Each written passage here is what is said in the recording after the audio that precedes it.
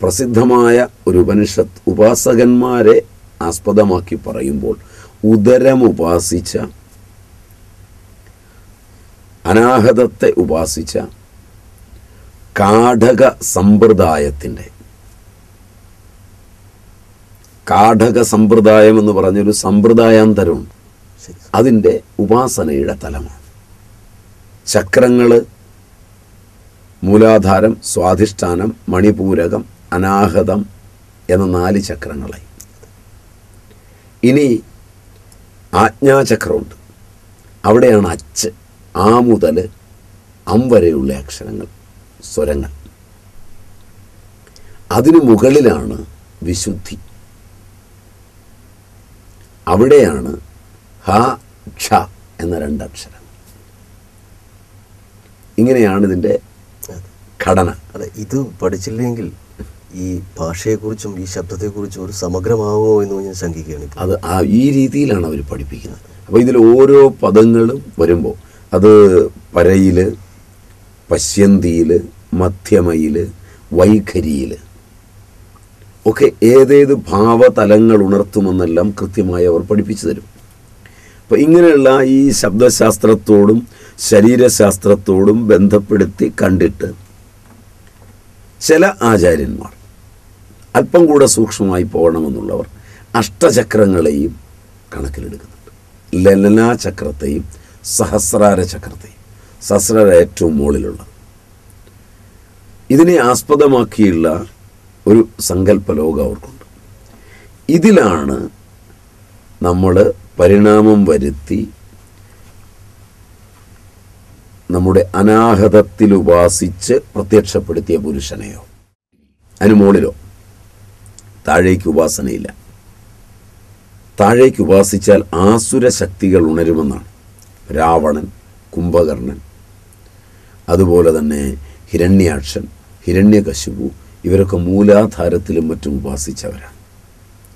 രാവണനൊക്കെ അതീവ പണ്ഡിതനാണ്. മൂലാധാരത്തിലൊക്കെ ഉപാസിച്ചാൽ പാണ്ഡിത്യമൊക്കെ വളരെ കൂടും. പക്ഷേ ആസുരി സമ്പത്ത് കൂടും. അതുകൊണ്ട് ഹൃദയം മുതലേ ഉപാസിക്കാവൂ എന്ന് ഉപാസനാ കണ്ടത്തിൽ പ്രത്യേകം പറയുന്നുണ്ട്. തന്ത്രയോഗങ്ങളിലും പ്രത്യേകം പറയുന്നുണ്ട്. ഉത്തമ ഉപാസനയ്ക്ക്. താഴെ ഉപാസിക്കരുതെന്നാണ് പറയുക. പക്ഷെ ഉപാസിച്ചാൽ എന്ത് കിട്ടും എന്നൊരു ചോദ്യം ചോദിക്കുമ്പോൾ നമുക്ക് ഉപാസിക്കാനുള്ളൊരു പ്രവണത ഉണ്ടാവുകയും അത് ഹിംസാത്മകമായി മാറുകയും ചെയ്യും. ഇതാണ് അവിടുത്തെ പ്രത്യേകത. അഷ്ടചക്ര തലത്തിൽ ഇതിനെ കണ്ടിട്ട് ദേവതാ സങ്കല്പങ്ങളെ ഇവിടെ കാണുന്നുണ്ട്.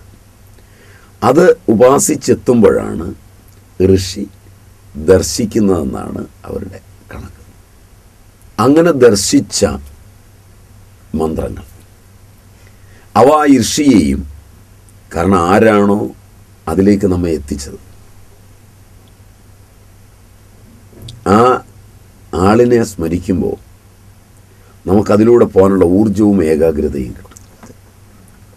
ഒരു ഗുരുവിന്റെ പിന്നാലെ പോകുന്ന പോകുന്ന ആ പാരമ്പര്യം നമുക്കൊരു സഹായകമാവും. നമ്മളുടെ ആ കലകൾ ഉണരും. ഛന്തോബദ്ധമായിട്ടാണ് ഒരു മീറ്റർ മന്ത്രമുള്ളത്. ആ ഛന്തസ്സിനെ നാവിൽ സ്മരിക്കണം. കാരണം അത് ശബ്ദ അനുവൃത്തിയിലാണ് വരുന്നത്. അതുപോലെ ചൊല്ലിയാൽ എവിടെയെങ്കിലും ഒരിടത്തൊരു നിർത്തു വന്നാൽ ഈ ഛന്തസ് തെറ്റും. അക്ഷരം മാറിയാൽ മാത്രമല്ല ഒരു സ്റ്റോപ്പ് ഒരു പദത്തിന് ഇടയ്ക്ക് വെച്ച് ഒരു അക്ഷരത്തിൽ കൊടുത്തു കഴിഞ്ഞാൽ മാറ്റം വരും. കാരണം ശബ്ദജന്യമാണ് അതുകൊണ്ട് അത് വരാതെ കൃത്യമായിരിക്കുന്നതിന് വേണ്ടി ഛന്തോബദ്ധമായി വേണം പറയാൻ. ചൊല്ലാൻ. അതിന്റെ ദേവതാസ്വരൂപം ഹൃദയത്തിലുണ്ടാവണം. അനാഹതം പരിപൂർണമാകണമെങ്കിൽ നമ്മൾ ഏതൊന്നിന്റെ വാക്വർണനമാണോ നടത്തുന്നത്? ഒരു രൂപത്തെയാണ് നമ്മൾ വാക്കിൽ വർണിക്കാൻ പോകുന്നത്. ഇപ്പം ശാന്തമായി പത്മാസനസ്ഥമായി ശശധര മകുടമായി പഞ്ചവക്ത്രമായി ത്രിനേത്രമായി നിൽക്കുന്ന ഒരു ശിവനെയാണ് ആ മന്ത്രം കൊണ്ട് വർണിക്കാൻ പോകുന്നതെങ്കിൽ ഓം നമശിവായ എന്ന ഒരു മന്ത്രം ഉച്ചരിക്കുമ്പോൾ ആ ഉച്ചാരണത്തിന് കാരണമായ പ്രകൃതിയാകെ ലയിച്ചു നിൽക്കുന്ന ഒരു രൂപമുണ്ട്. അത് അതീവ ശാന്തമായ ഒരു ശൈവസങ്കല്പമാണ്. ഇതിനാണ് മന്ത്രം പറയുന്നത്. അപ്പം ഈ മന്ത്രത്തെ അവർ ഏറ്റവും പൗരാണികമായ കാലത്ത് രൂപവും വാക്കും ചേർത്ത് കണ്ടെത്തിയിട്ടുണ്ട്. ഈ വഴിയിൽ അന്വേഷണം നടത്താൻ പോകുന്നവൻ അന്വേഷിക്കേണ്ടത് അതിന്റെ സാധനകളിലൂടെ ആയിരിക്കണം. അതെ. അല്ലാതെ അവന്റെ ഉപകരണങ്ങളിലൂടെയോ അവന്റെ ഭൗതിക വിജ്ഞാനത്തിലൂടെയോ ആവരുത്. അവിടെയാണ് തെറ്റുന്നത്. അത് പോകാൻ കഴിയാതിരിക്കുന്നത് വരെ മാന്യമായ ഭാഷ ഈ ശാഖ എനിക്ക് അജ്ഞാതമാണെന്ന് പറയുക. അതാണ് ഏറ്റവും ശാസ്ത്രീയവും മിതവും മര്യാദയുള്ളത്. ഇതിലൂടെ പോകാതൊരുത്തൻ ഇത് കച്ചവടമാക്കി ജീവിക്കാൻ ഇറങ്ങിയാൽ അതതിനേക്കാൾ മാരകം